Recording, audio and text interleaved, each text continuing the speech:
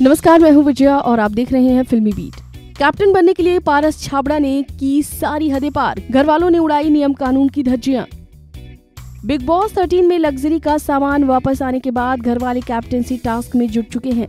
बीते एपिसोड में big boss ने सभी घर वालों को मौका दिया था कि वो इस हफ़्ते कैप्टन बनने के लिए अपनी दावेदारी रख सकते हैं। बीते एपिसोड में सिद्धार्थ शुक्ला और विशाल आदित्य सिंह से घर वालों ने सभी अधिकार छीन लिया है। लग्जरी सामान और राशन वापसी के लिए घर वालों ने ये कदम उठाया था।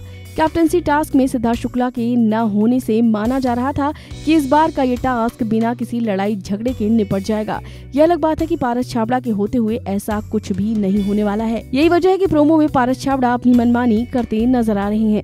संचालक होने की वजह से पारस छाबड़ा घर के किसी भी सदस्य की बात नहीं सुन रहे हैं, यानी कि काफ़ी ज़्यादा मनमानी करते दिख रहे हैं और इसी वजह से पारस पर सभी चिल्लाते नज़र आ रहे हैं। पारस को चीटर का भी टैग दे दिया गया है। इतना ही नहीं, समझाने के बाद भी पारस छाबड़ा ने अपनी सबसे अच्छी दोस्त माहिरा शर्मा की भी बोलती बंद कर दी। पारस छाबड़ा पर सभी घर वाले काफ़ी चिल्लाते नज़र आए और सभी पारस से तूतू मैं मैं करते दिखे। प्रोमो में पारस छाबड़ा जमकर छीना झपटी भी करते नज़र आए, जिसकी वजह से आरती सिंह को भी चोट लग जाती है। पारस की इस हरकत से सिद्धार्थ शुक्ला पारस पर भड़क जाते हैं। ये बात अलग है कि पारस को इन सब बातों से कोई फ़र्क नहीं पड़ता।